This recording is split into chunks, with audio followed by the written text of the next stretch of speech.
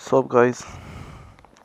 This is Zuma vlog and today I'm I want to show you how to change your kilometers to miles an hour or how to change your miles an hour to kilometers. So is this working? Yep.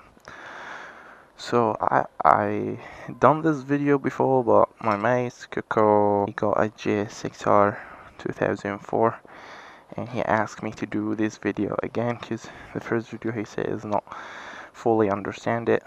No problem mate. I'm here for you.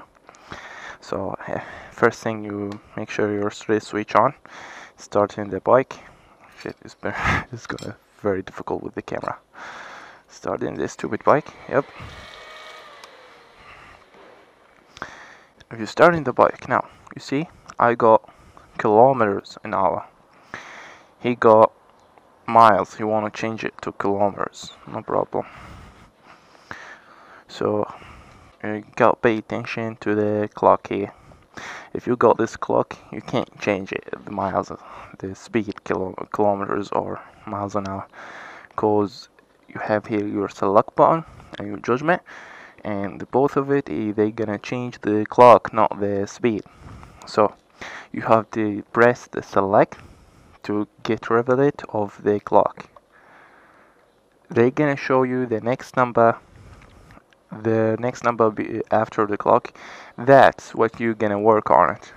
I don't know why. I try it. It's not working unless you do that. After you, you get of the clock you gonna press the select button and you judge me in the same time and holding it. Let's see and change to miles an hour. And the numbers also changing so if you your bike is miles an hour want to change it to kilometer it's the same thing.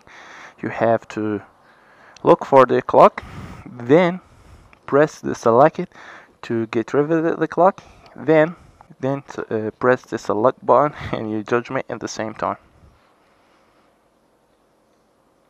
And change to kilometers an hour I hope you I hope you might understand the, this time and if you guys have any question for me uh, please uh, send it or uh, put it in comments and uh, please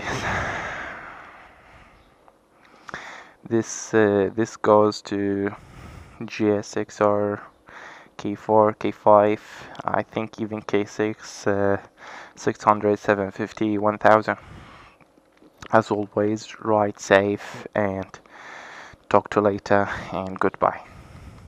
And no one asked about SpongeBob okay